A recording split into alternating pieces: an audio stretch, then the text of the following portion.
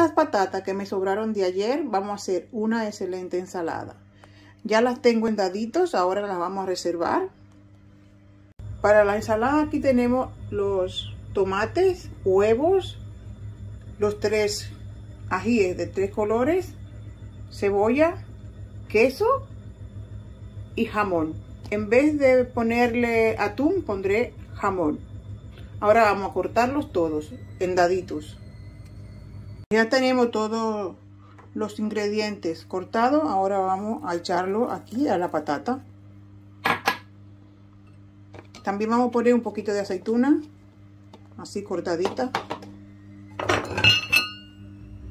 El tomate.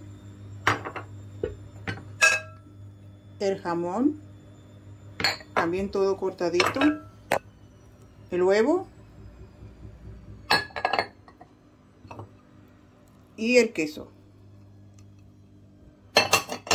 Ahora vamos en un bol a poner un poco de aceite de oliva, un poquito de sal, un poquito de orégano y un poquito de vinagre.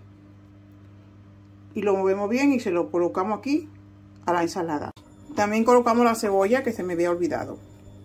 Está todo en cuadritos pequeñitos. Ya aquí tenemos el vinagre, el aceite, una pizca de sal, no demasiada porque ya la patata tiene sal eh, un poquito de también de pimienta y lo movemos muy bien.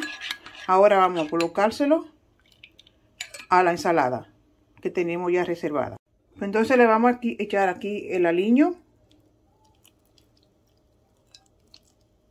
el vinagre y la sal ya es cuestión de gusto. Ahora vamos a mover bastante bien y luego llevarla a la nevera. Pues miren, la pinta está muy buena. Si hay algún aliño que no le gustan, pues no se lo ponen, le ponen otra cosa. Ahora la voy a llevar a la nevera y luego la voy a emplatar. Pues ya tenemos la ensalada. Simple, con unas patatas de un día anterior, se puede hacer una ensalada estupenda. Así que le gusten el paso a paso. Nos vemos la semana que viene con un nuevo vídeo. Hasta luego.